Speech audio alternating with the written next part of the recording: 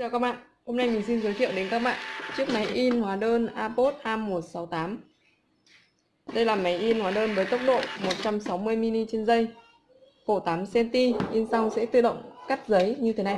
In xong thì các bạn chỉ cần giật nhẹ ra thôi.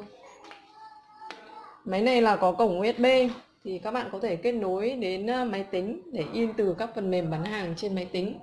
Ở đây mình có thể à, in từ phần mềm trên máy tính cho bạn xem in máy tính này. Đấy, chỉ cần cài đặt driver sau đó là chúng ta sẽ in được. Đó, đấy đó là trên máy tính. Ngoài ra máy này có kết nối dây mạng LAN thì các bạn có thể in qua wifi tức là điện thoại của các bạn sử dụng một số app bán hàng sau đó vào một kết nối nhập địa chỉ IP của máy in vào. Địa chỉ của IP của máy in thì phải trùng với địa chỉ IP của modem wifi tại cửa hàng. Đấy. đây là trên chiếc điện thoại này. Điện thoại này là iPhone thì các bạn có thể à, in trên à, điện thoại iPhone hoặc là trên à, Android đều được.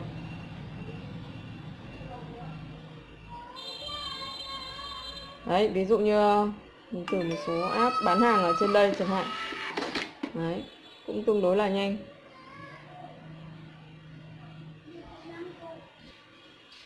Đấy, các bạn vào app bán hàng này, sau đó thanh toán rồi bấm in. Đấy. In xong nó sẽ tự động cắt giấy như thế này. Khổ 8 cm in tương đối cũng là rõ nét. Máy này rất phù hợp với lại các ờ, mô hình như là shop thời trang, các cửa hàng bán lẻ lẻ, các cửa hàng tạp hóa minimart các ờ, shop ờ, các cửa hàng trà chanh, trà sữa chẳng hạn, hay các cửa hàng bán lẻ đều được. Còn nếu mà các bạn muốn in với tốc độ nhanh hơn thì có thể sử dụng một số máy in hóa đơn với tốc độ in khoảng từ 200 mini trên giây trở lên. Đấy, còn máy này thì nó khoảng 160 mini trên giây đây là apod A168 các bạn nhé. À, lắp giấy thì tương đối là đơn giản ạ. Ở đây mình sẽ tắt công tắc này trước này đi. Khi hết giấy thì nó sẽ có báo báo đèn đỏ. Thì các bạn sẽ biết là hết giấy. Để lắp giấy thì chúng ta sẽ kẽ nhấc cái lẫy này lên. Đấy chúng ta sẽ à, nhấc thẳng cái này ra. Đấy đây là cuộn giấy in hóa đơn của K80 máy này có thể sử dụng à, K80 45 hay K80 80 đấy, K80 80 thì còn to hơn. Và sau đó chúng ta sẽ thả vào đây này. Đấy.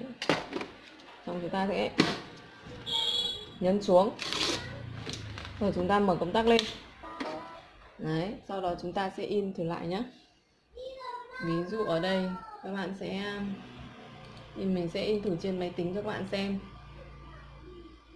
ở đây sẽ là đây là mình đã cài à, đặt driver trước rồi. Cài đặt driver tương đối là đơn giản. Bên mình có uh, app uh, cái driver ở trên website các bạn có thể tải về. Hoặc khi mua máy thì sẽ có đĩa driver thì các bạn cũng có thể cho đĩa driver để copy vào. Đây ví dụ ở đây mình sẽ in thành Đấy. Đấy, in xong nó tự động cắt giấy như này thì các bạn chỉ cần giật nhẹ ra thôi. Đấy.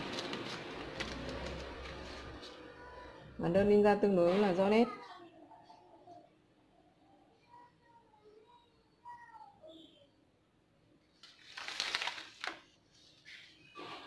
Đấy, nên là các shop nào muốn uh, sử dụng máy in máy in này thì là dòng uh, giá cũng uh, rẻ tiền thôi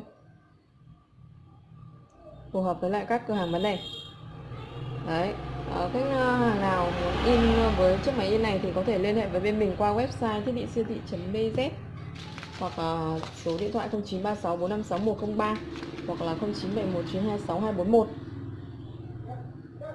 Cảm ơn các bạn đã theo dõi.